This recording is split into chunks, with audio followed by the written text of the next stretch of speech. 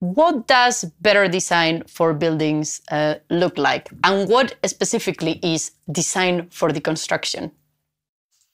Sure. So, design for deconstruction is a philosophy where buildings are designed intentionally for material recovery and reuse at the end of life. So, like I said, currently buildings not only have zero value at the end of life, they actually cost money to demolish and to process the waste.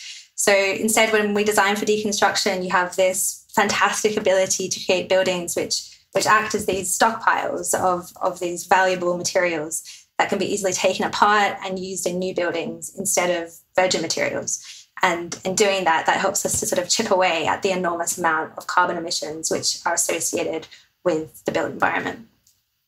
Um, and in terms of um, in terms of actually doing this practically, um, the deconstructed, like the ideal deconstructible building is very similar to a Lego, Lego building. Um, so we try and design components that are modular, connections that are reversible, just like Lego, um, and materials that are, are robust and reusable. And we want to try avoid using any paints or coatings that might be difficult to remove. Um, and we want to ensure that the components of the building are easy to access and there's a plan for how they can sort of safely be removed without damaging the item. And I mean, you, you brought it, this up in your first in your first answer, uh, the importance of of design, of the design stage, and you know how much of uh, our environmental impact is determined by decisions that we made in that crucial design stage.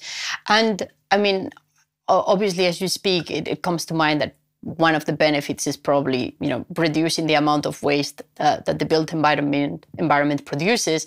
Uh, but what are other uh, benefits that perhaps designing for deconstruction can have, economic or environmental, any kind of benefits? Sure. So.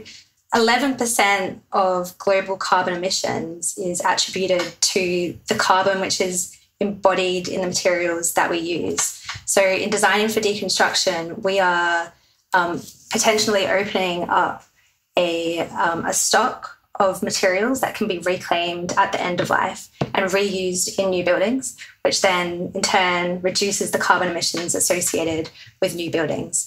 Um, and in terms of um, economic, you know, in going for design for deconstruction, you know, one of the challenges that's often cited is the increased use of labor at the end of life to deconstruct, you know, in order to to unbolt everything um, rather than just go through it with an earth mover involves a lot more people. But that is a real great opportunity for job creation, um, as is you know refurbishment of things that come out of existing buildings for um, for reclamation is also a really labor intensive process that that can create jobs in the local economy.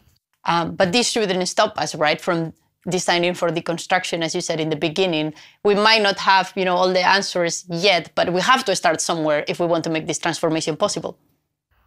That's that's absolutely right. Yeah i've i think with many things in the circular economy you often start to uh, get almost a bit confused around the circularity of responsibilities. Um, you know why should we design for deconstruction when there's there's no market for it at the end?